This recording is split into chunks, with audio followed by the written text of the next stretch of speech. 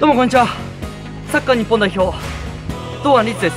動いてたら堂安律です。今日はですねこちらあのー、カタールのピッチに、えー、来させていただいてますけども。ちょっと、ここって魚沼市の奥只見丸山スキー場ですよね。まあ、あのー、魚沼のカタール。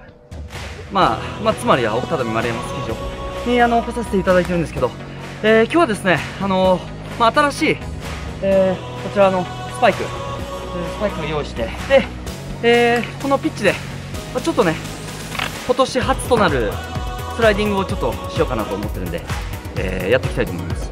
で、えー、見てください、こちらのコース。カモシカ B コース、カモシカ E コース、カモシカ D コース、ブナダイラコース、ま、いろいろありますけれども、まず滑るのは、俺のコースなんで、俺のコースなんで、まず俺のコースを滑ります。で、まあそこは絶対に俺が決めてやるぞって気持ちで滑っていきたいと思いますんで早速行ってみたいと思いますありがとうございましたえー、今日の撮影はこちら森保監督ですえー、うちの実の兄です。小畑のお兄さんのお兄さんです。動いてないと、ドア密じゃないんで動きます。天気も最高ですね。最高ですよ。思い出しますよ。気をつけながらじゃあ。うん。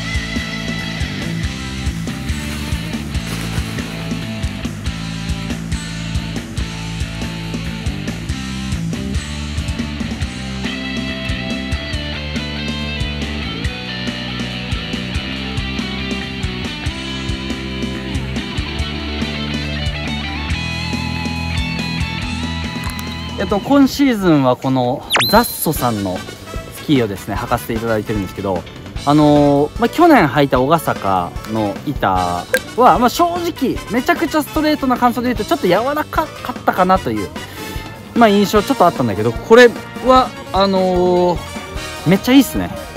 めっちゃいいです。硬さも結構あるしまあただ今日雪が柔らかかったんで実際硬い斜面アイスバーンでの反発とかわかんないですけどめちゃくちゃいいですね。でこれは1 6 5センチの板ですね。めっちゃいい。これもフダットさんですけど。アパレルがすごいおしゃれなんでぜひ皆さんもね。あこれもこれこれ便利だわ。地味に。これめっちゃ便利。はい。